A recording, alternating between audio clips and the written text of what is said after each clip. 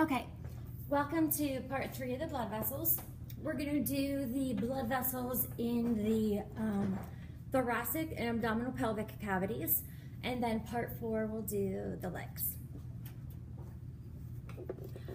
So we already know that the ascending aorta comes up, then we have the aortic arch, and then the descending aorta begins, right? And the descending thoracic aorta goes behind the heart, and then below the diaphragm, down here, this large vessel that we see is showing us the descending abdominal aorta. When we look at the descending abdominal aorta, it V's, right, or splits, and this and this are showing you the common iliac arteries.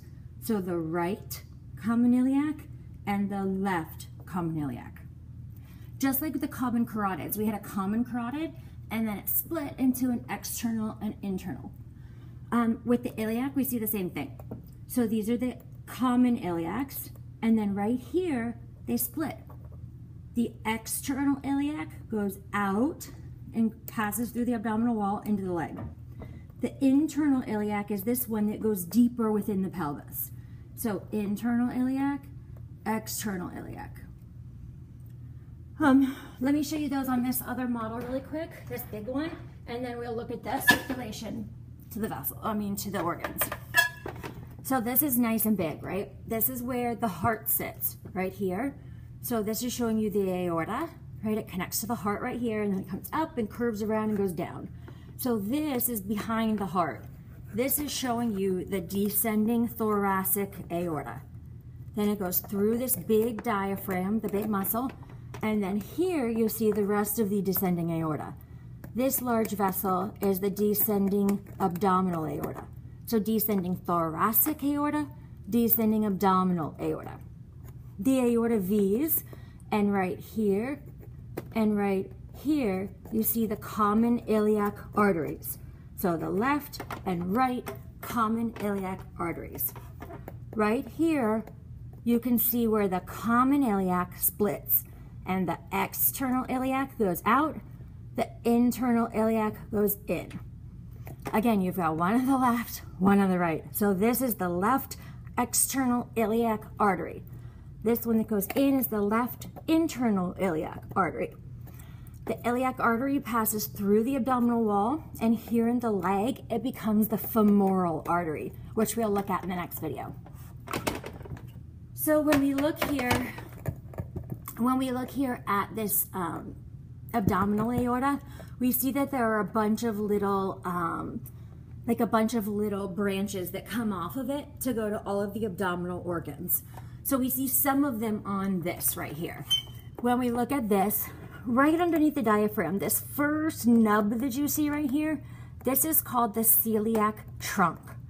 It actually has multiple branches that go out to like the liver and the stomach um, and the spleen, but just the nub, just the first section is the celiac trunk. This next one that you see right down here, this is the very beginning of the superior mesenteric artery.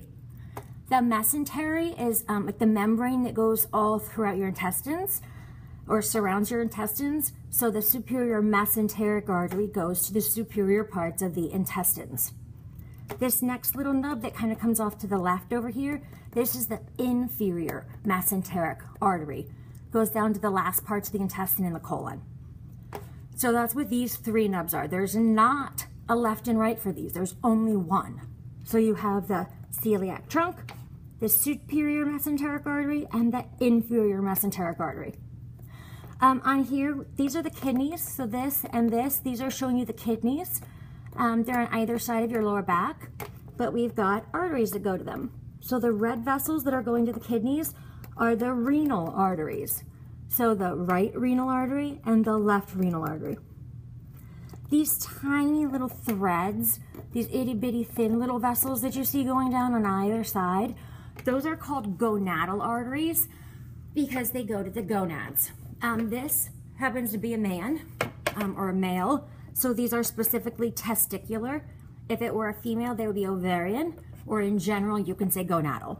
So like this is the right gonadal artery, This little thread over here is the left gonadal artery, or testicular because this guy has testicles.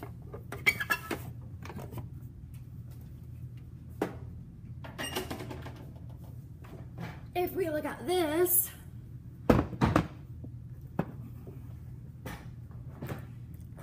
see if I can get it closer.